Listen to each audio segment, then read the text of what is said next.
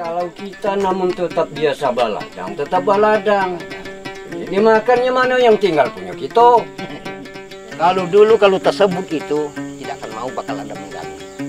Tersebut apa Pak? Tersebut orang itu, orang yang nikah sama gajah itu. Tidak boleh rusak perusahaan. Orang tuh sudah janji. Sudah janji sama di gajah itu. Kau jangan merusakkan aku, aku tidak merusakkan kau.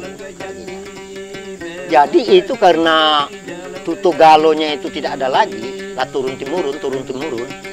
Di situlah yang merusak lagi sampai sekarang.